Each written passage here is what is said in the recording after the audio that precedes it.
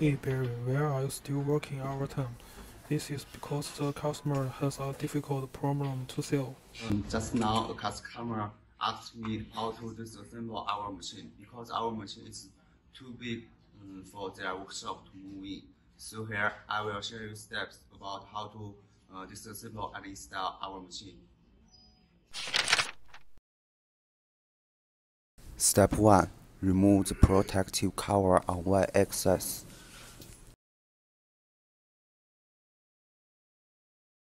Step 2.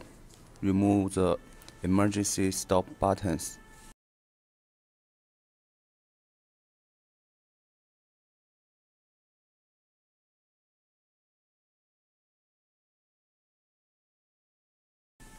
Step 3. Remove motor screws and wires.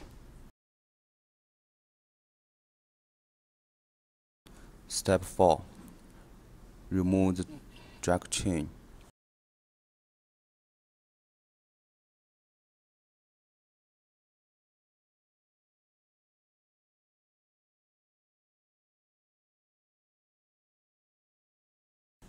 Step 5. Remove the slider.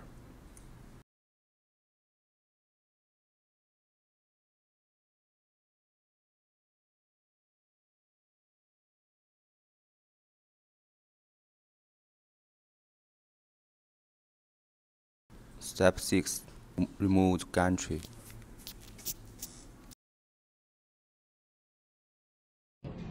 And that's all steps about how our machine is disassembled and installed. Hope that will be helpful for you. That's all.